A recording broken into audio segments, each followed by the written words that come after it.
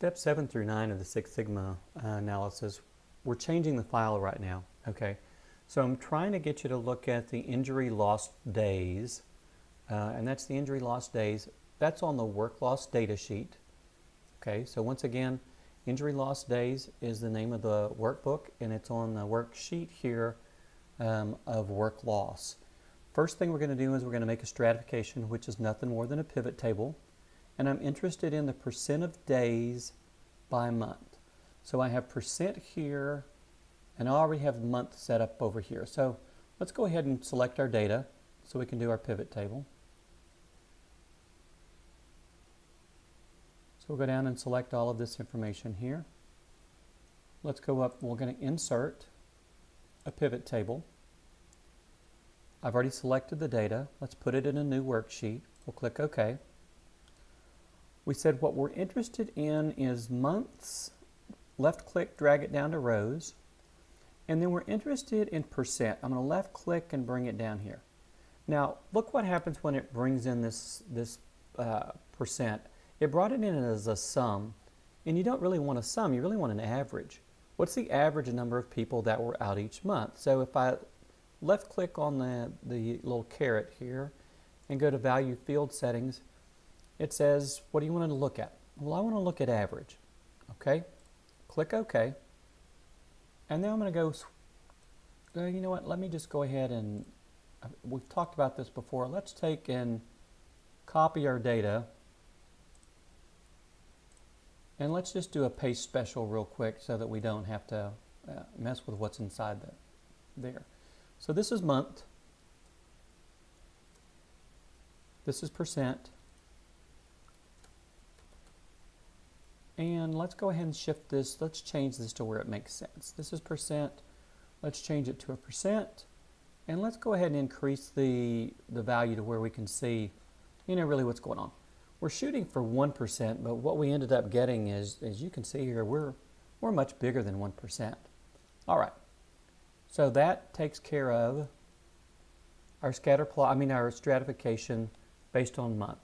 Next it says let's look at a scatter plot of the percent days lost by day, uh, and we're going to still stay on this injury uh, lost days in here, and we're going to do a scatter plot and a trend line. What that's asking us to do now is regular scatter plot, trend line. Well, here's the month, here's the percentage. Let's let's make this to where it's easier to deal with. All right, let's go ahead and copy this um, and we can, once again, I could show, we could go through and, and look at how to get rid of information, but let's just copy it. All right, I copied it. I'm going to create a new page for us to work with. I'm just going to do a, I'm just going to do a, a paste special, bring it in here. All of the information's there. Oop. But you can see whenever it did a paste special, uh, it changed our dates. Um, it changed it to a number. So let's go back and switch this back over to uh, uh, a date. Oop, I did the wrong thing there. Sorry. It is a regular account. Um, let's do a short date. That'll work. All right, so there's my days. Here's my percentage. Let's shift this thing back over to a percent. Increase it by one. All my data is saved from back over here in this original sheet. What I want to do is I really want a scatter plot of just this column and this column. So let's take, let's just delete these columns. Okay, so now I, now I have exactly what Excel wants to see. I have two columns side by side.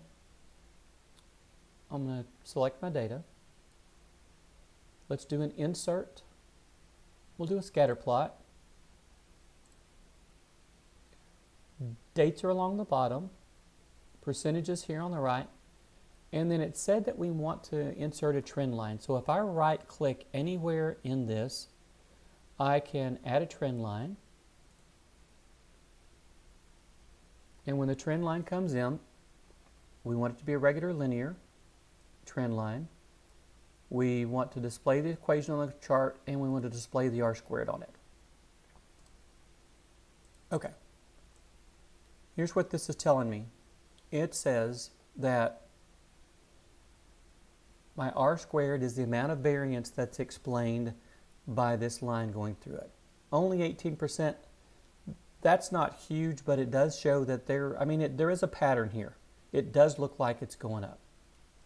Okay, let's go and let's take a look now at, let's take a look at what it tells me to do next. It says let's do a scatter plot of the percent of days lost by month.